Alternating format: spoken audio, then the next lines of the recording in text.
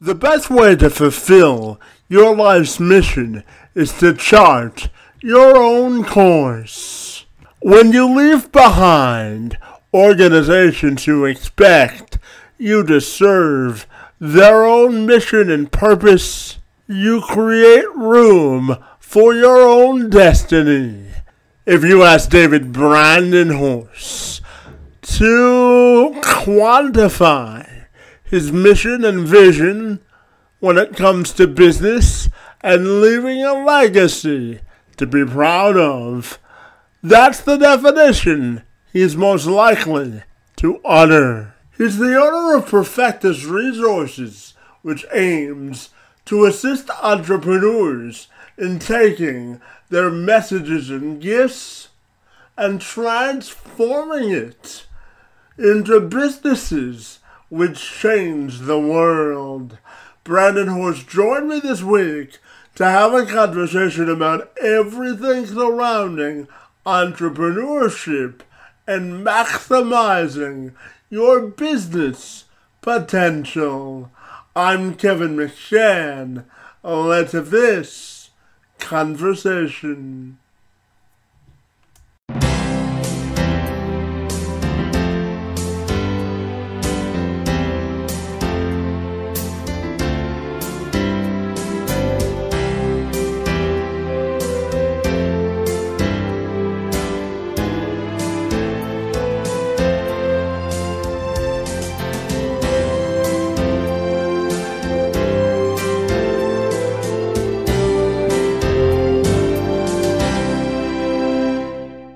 Absolutely. So, David, if you're ready, I'll take a moment to welcome you to the program. And I'm excited to learn all about uh, your journey in business. So great to see you. And uh, thank you so very much for being here.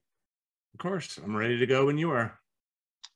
Absolutely. So, David, you say that success in business is caused by uh, careful planning, uh, consistent action, and uh, developing our own own strength and skill set. So I'm wondering if you can uh, go through that philosophy for me and why it sort of grounded or rooted you into the position you take with business. Yeah, of course. Um, yeah, I really feel like, you know, if you're going to be successful in your life, that success for everyone is defined differently. So what would be success for you or for someone else would be different than it is for me. Like we don't have the same we don't have the same objectives. So if you're going to have success with your life one of the first things you need to do is define what does that mean? What does it mean to be successful? What does it mean to to have success in your life? What does that look like? And for some people you know it's about you know getting involved in in the health space about helping people become healthier in their lives. And other people are like how do i help people become better at managing their finances and managing that part of their life? There's all sorts of different ways that you can get involved in in, in the world and different things that you can do. And one of them so one of the first things you have to do is what what does success look like for you? So once you define that and once you decide this is what success looks like for me this is this is what it means for me to know that at the end of my life when i'm done with everything that i've done what i believe i was supposed to do. I i'm living out my purpose here on earth. I'm doing the things that i'm supposed to be doing. Once you start getting your hands around some of that then the next thing is okay now i know my direction. I know where i'm going. The next steps are really can you take consistent action? Can you can you take consistent action to start moving in the direction of of that goal? Can you start doing those things? Can you start moving forward with all of that and if you can do that you know it becomes eh, you start to achieve success you start to realize that dream if you can be persistent, if you can continuously and regularly take action. You know, too many people, they get started on something, they get excited about their dream and they work on it for a couple months or so, and then they kind of fall off and they get busy and they don't have the capacity to stay with it and keep going. The people who can really be successful are those that can really stay persistent and keep taking action and keep chipping away at it on a daily basis. And then what's going to happen is if you do that, you're going to hit a point at somewhere down the road where you're going to start achieving a lot of those things that you set out at the beginning as your goals that I'm going to do.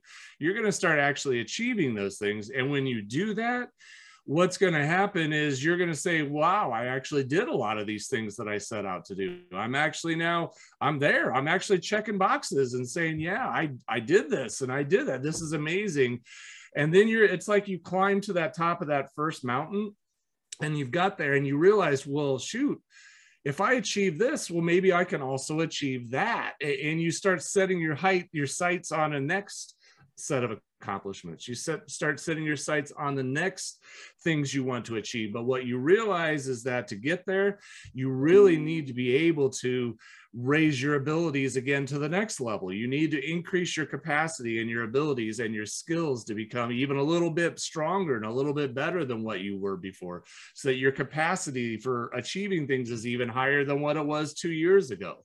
And, so it's a continuous process of then continuing to set those goals and those that vision for where you want to go and be, and then just keep taking action. And then every time you get there, you raise it up again and keep going. Yeah, absolutely, David. You know, I always say that, that everyone's uh, depiction of success is different, isn't it? Yes. 100%. Absolutely. I agree. Absolutely. And you also said that it's important for uh, people in business to chart their own course. So I'm wondering if you can tell me about that. Yeah, one of the things that I really know is like everybody has something in their own heart that they feel like this is what I'm supposed to be doing. And when you're working for another company, when you're working for someone else, your your vision of what you may want to do may be somewhat aligned with it but it's really hard for you to achieve that thing that's inside of you if you're always following someone else's plan if you're always following someone else's vision and their business and the things that they're doing. If they if they're laying out their mission statement and what they're trying to accomplish through their organization or their business it can be hard for you to achieve your vision within that. Now, sometimes it does happen, sometimes it is possible to get there. But the best way for an individual to really feel like they're living out their purpose is they need to can take control of their life. They need to take control of their time. They need to take control of their circumstances, about the things that are going on in their life and to be able to say i'm going to chart my own course and i'm going to be the one who determines you know where i go on monday morning. I'm going to be determining how much income i can make. I'm going to be determining the type of clients and people i want to be working with. And when you do that you get to dictate. You get to set the terms as, under which you're going to be working. And as part of all that you really can you know then pursue directly that vision that you and the goals that you have for your own life. Yeah absolutely Absolutely. And I know uh, you're extremely passionate also about helping entrepreneurs sort of design, uh, launch, and grow their own businesses so they can have uh, more consistent or uh, consistent cash flow and the ability to experience life, life the way they want to uh, want to and live and live out their dreams. So I'm wondering if you can tell me about that, buddy. Yeah, um, you know, I really feel like entrepreneurs are the key to the future. Um, I, I, think you know you look at large corporations and organizations. If you want to get something done, you have so much bureaucracy that you have to fight through. You have to get approval by the finance department. You got to get human resources okay. You got to get this boss to sign off on it, and to get any changes made, to get any things really done it can become quite cumbersome and there's a real bureaucratic machine that you have to work through to be able to get things done and to get things moving and it can become very very difficult. And i believe like our government it's not going to be the the vehicle to help us. It's not I don't even think most of the time they have our best interests at heart. They're not even trying to do what's best for we, the people. So, who does that really leave? Who are the people that are really left? Well, that's really the entrepreneurs because the entrepreneurs are the ones that are very nimble. They're the ones that can see a problem in the world and say, you know what? I see that and I see people are struggling with that. I'm going to create something to help that. I'm going to create something to solve that problem. I'm going to do something. I'm going to create a product or a service that can deal with that issue. And, and, I can just go out and do it. I don't need to get all sorts of approval or committees to sign off, and someone else could squash my idea because they don't like it and they don't get the vision of it. I'm just going to go run and do it. I'm just going to take it on and, and get it done. And that's why I really believe being an entrepreneur is so incredibly important because you can go out and do that. And that's what you know we do in our business is we really help people design a business that's really suited to what they want to do in their lives and then launch that business out into the world so that they can get their products and services out there and then grow it so that they can reach more people and earn the income that they desire. And that's really where we started to design launch grow from Fantastic. And you know, uh, David, part of my background and my mission is all about inclusion, diversity, and equity for uh, folks with disabilities because I have my own lived experience being diagnosed with uh, cerebral palsy at birth. So anytime I get to talk to business professionals such as yourself, I'm always curious to ask them, how do you think we can achieve more diversification in business and provide more opportunities for folks with uh, disabilities to uh, succeed in business? Yeah, well, I really think, you know, and I think there's more things happening and changing and all the time. And I think it's really important where we can create opportunities for everyone. Um, and I have a, an example of one that I can use. I have a good friend of mine started a business called Game U, and Game U is a business that teaches kids and young people mostly how to create video games. They teach them how to do the coding, they teach them how to do the 3D modeling, the animation, the storylines, all that kind of stuff on how to create video games. So they're teaching it, but they also have a separate part of their business where they're working with people with disabilities. Now, this is where I really thought it was fascinating what they're doing, and I'm so proud of them for taking this on and adding this in because what they're doing is they're working with people who have disabilities. Now, these are people who are very smart individuals, but for one reason or another wouldn't do well in an office setting. They, they would struggle being able to function in that setting and being able to do in an office setting, but they sure can learn how to code they sure can learn how to write code and do other things that are the backbone of making video games and so forth. And so what they've done is they've created these training programs to train all these people into how to write the code for the games. They're teaching them directly from people who are working in the industry and they're showing them exactly how to do it. And now that these people have these skills and know how to do coding and things like that, they can be fully involved in working at a company, writing code and doing all these things, and they can do it all remotely. So any of the other issues that were holding them back before have now been removed because the opportunity is now being presented to them in a different way. And it's all about offering these opportunities so that more people can have a chance to participate and more people can have a chance to engage in these activities where otherwise there are other hindrances that may have held them back. And so I think that's just the, the, the a good example of the types of things that we can do to you know allow people who may have otherwise had a difficult time making it work to give them the opportunity that hey you know what? I, I know that you can code really well. So hey just keep writing the code and keep doing that. And you can work on it from home and do it that way and that's great.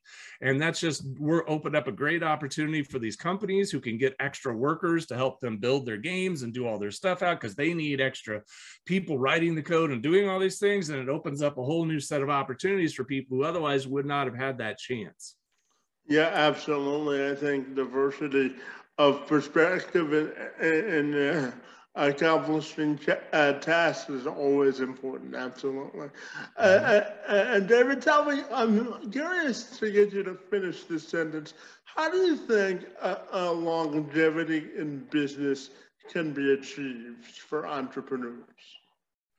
You know, the biggest word that I've always, I always tell people is persistence. I, I I'm a firm believer that you know, the people who are the most successful are not necessarily the people who are the smartest. They're not necessarily the people who have the most talent. They're not the people who necessarily have the most connections and the most gifts. they're the people that didn't give up they're the people that just kept working because I've met a lot of these super successful people. I've met a lot of these people who are just making millions and millions of dollars in their businesses, who have grown their businesses from nothing to very, very significant in size. I've run with a lot of them and met so many of them. And what you notice is, you know what, they're smart, but they're not smarter than everyone else. They're talented, but they're not talent more talented than everyone else. What did they do? They just didn't give up. They never they never quit and they just kept working at it, working at it and working at it.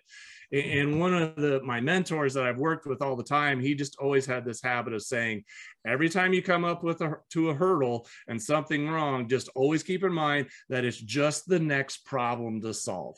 It's not necessarily going to stop you. It's just the next problem that you need to solve. So solve that problem and keep moving forward and keep moving forward. And that persistence and that dogged commitment to achieving what it is that you're doing is so incredibly important to have success. It's just so incredibly important for people to be able to get there. And if anything, that's what I tell people is that you don't have to worry about if someone's smarter than you or more talented than you. You just have to be committed and keep taking action because the vast majority of people quit at some point in the game. And some of them quit when they've almost realized success. The ones who truly succeed are the ones who just won't give up and just keep going. Yeah, absolutely. And, and to that point, uh, David, I, am curious to ask you about uh, first-time entrepreneurs and sort of how can they minimize mistakes as they first uh, start out in their new business? Yeah, one of the things that I know um, is one of the biggest challenges that I see new entrepreneurs make, new people, people who are really just trying to do it for the first time and, and get things put together is a struggle with learning how to communicate the value of what you do. Um, that's one of the biggest things that I see is that people just don't they don't know how to communicate the value. They don't know how to communicate what it is that they're doing in such a way so that other people would see it and say, wow, I get that. That's so valuable. I want to buy that. I want to get that because I get it. I get what you're doing. And I see person after person that comes to me, and they may have a really great product. They may have a great service that does really some um, remarkable things for their customers, but they struggle with how to communicate it in such a way so that other people who are not familiar with it would go and understand how valuable it is. So the marketing of their message, the marketing of what's so valuable in what they do is, is oftentimes poorly communicated. And so they put all their stuff out there and they're not communicating it all that well. And then people will sit there and go, Well, I don't understand why people aren't buying. Well, it's your communication. You're not communicating the value of your offer at a high enough level, at, at, a, at an enticing enough level that people are going to want to buy it. And, and a lot of times, what they do instead is they, they make it a little too much about themselves instead of about their customer. And that really then makes the person on the other say, well, this is kind of about you and your journey. It's not really about me and the problem that I'm trying to solve and the things that I'm trying to achieve. And so, if you can really learn how to market it, if you can learn how to communicate the value of your offer and make it all about the customer on the other side and show how you can help change their life and make a difference for them, that's when you can really start to turn your business around and start getting some sales and making things go forward. And David, I'm also uh, picking up on, on the notion of marketing your message. I'm also uh, curious to ask you, how do you think uh, job seekers can make themselves uh, appealable to uh, uh, entrepreneurs on a, a broader scale? I'm curious. Yeah, job seekers. Well, here's something that job seekers can learn from entrepreneurs is that what you have to realize is that when you go out and apply for jobs that you know for, with entrepreneurs or with other companies or whatever you have to understand that even though you may not realize it you do have a personal brand. That when somebody looks at you and they look at your experiences when they look at your skills when they look at the things that you've accomplished with your life whether you understand it or not, is you are creating a brand for yourself. There's an image that you are creating, and the person on the other side is going to look at that image and say, is this a fit or not a fit? So, what you really need to learn to do if you're a job seeker is you really need to learn how to, how am I going to intentionally create a brand for myself? How am I intentionally going to position myself in such a way that I can say, look, this is who I am, this is what I'm about, and this is what I stand for, and this is what I represent. And then find businesses or entrepreneurs that are going to be a match for that.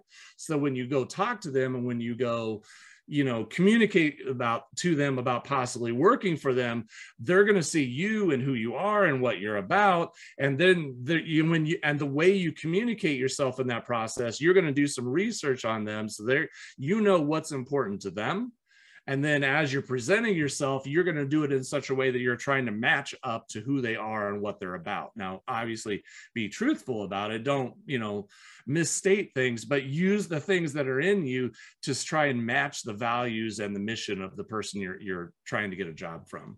Yeah, absolutely. And, and David, I'm curious to ask you, you've, you've obviously been at, at this for a while. So I'm, uh, wondering uh, for you, what's the biggest lesson you've learned in business and entrepreneurship? Yeah, I would just really say integrity matters. Um, when you're out here and you're working with people and you're doing different things, you know, you come across people of all different kinds. And by that, I mean people who, when they tell you, I'm going to do this, they do it. People who you can count on people you can trust people who you know if i give you something that needs to be done i and we need it done by friday hey i know that you're going to do it. I know you're going to get it taken care of. It's going to happen and i know that it's going to be done well. With with excellence and with you know integrity and, and everything's i can trust you and do that I've ran across a lot of people over the years where you just can't really trust them and you know that they're really only in the game for themselves. And if doing something with you is beneficial to them, they'll do it. If it's not, then maybe they'll do it. it but you really can't count on them. So the people who don't fill that integrity you know who don't fill up live their lives and run their businesses with integrity quickly fall off and people quickly learn that I can't trust this guy. This guy over here, he's you know he's not honest. He's not doing those the things in a way that i can trust him. So as a result i'm not going to do business with him anymore. I'm not going to continue to partner with him or i'm not going to work with him because it, you know it, it's just not a person i want to be associated with. And, and i know someone very personally that you know had a very successful business had a major integrity gap and now that business is being decimated as we speak because you know it, it, people don't no longer want to work with him. Yeah, yeah absolutely. Your, your word still has value doesn't it? 100% and David, I'm, I'm curious uh, behind you. I've been looking at uh, the background behind you, and I can see a whole lot of different interests there some music, some sports. So, outside of the office, I know you're a dad as well. So, tell me, uh, what, what are your passions away from work, buddy? Well, I like a lot of sports, as you can probably tell from the wall. That's uh, that. it's a little hard not to. Uh, I, I, love sports. I love collecting memorabilia. So a lot of the pictures you see behind me are autograph pictures of different athletes and so forth that I've I've gotten. Um, I know you, you know, you mentioned Pittsburgh before we got on the Steelers. That's a picture of the steel curtain from the 1970s. Then that was all autographed by the defensive line of the Steelers of the 70s. And, you know, that's like Magic Johnson, Ernie Banks, Earl Campbell, a lot of guys there. Um, the, the, the record behind me is actually a, a award that I got from ClickFunnels. Um, ClickFunnels hands out awards to people who generate over a million dollars through a single sales funnel. So that's actually what that award is for. I, I earned, we, we did it several times actually. We sent several million dollars through one single sales funnel. And as a result of doing that, they, they gave me an award for doing that. So, but yeah, outside of that, I have, you know, three kids and we do a lot of stuff as a family but i i love sports. I love collecting memorabilia and sports cards and things like that. Very cool. And where where do your uh, sports loyalties lie these days buddy? Well you know i'm originally from iowa so i'm a in i in college level i usually root for the iowa hawkeyes because that's where i was born and raised. Uh, in professional sports, I tend to root for uh, the Steelers, who this year are letting me down a little bit, but uh, I do root for the Steelers. I, am holding faith that they'll turn things around here eventually. It's just not going to be this year, but uh, I root for them. Um, and then in baseball, I'm kind of a Cincinnati Reds fan. Um, so I, I, I tend to I've rooted for them since I was a, a young kid as well. Um, NBA, I more just watch it for for fun. I don't really have a real strong favorite team there anymore. Very cool. Well, I have to tell you, everyone around my house is a Michigan Wolverines fan. So this oh. this uh, weekend, we so this Saturday we get to compete. Competing interest there, Bonnie, and uh, there we go. I'm, I'm, a diehard Detroit Lions fan, so watching uh, the, a game they had against the Steelers this year was a little painful, but that's okay. Yeah, yeah. Uh, David, my final question for you before I ask how people can uh, get in contact with you, buddy, is I'm wondering if uh, you had any thoughts on how you want your personal or professional legacy to be defined. Yeah, what I really, you know, one if a while, a few years ago, we had to, we were asked to pick a word at an event that I was at, like pick a word that defines you.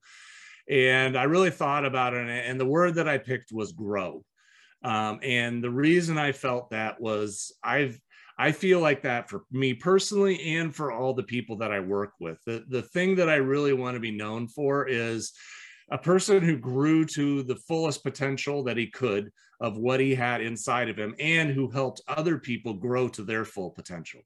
Because I think inside of us, when we're young, we have all these skills and abilities, but so much of it is potential skills and abilities. There, there's skills and abilities that are there that are yet undeveloped, but they're there. And we have this capacity within us to do all these amazing things. We have the capacity inside of us to to achieve great things, to be a great influence on people's lives, to, to love other people, to make a huge difference in the world, and to do great things but if we don't intentionally pursue that and if we don't intentionally go after those things a lot of those potential abilities lie dormant and they don't actually happen. So the legacy that i would want to be known for is someone who helped people realize their potential and l- realize and knew how to keep help them grow and to become the person fully who god created them to be. Yeah you know maximizing your fullest potential is sort of uh, my tagline is a motivational speaker, so I can relate to that in that way. But David, I want to uh, thank you for joining me today and sharing your journey in entrepreneurship, your time, energy, and efforts and work in the space are, are on my behalf are most appreciated. And I want to uh, thank you for being here today, Bonnie. It's most appreciated. I'm happy to do it. Thank you for having me.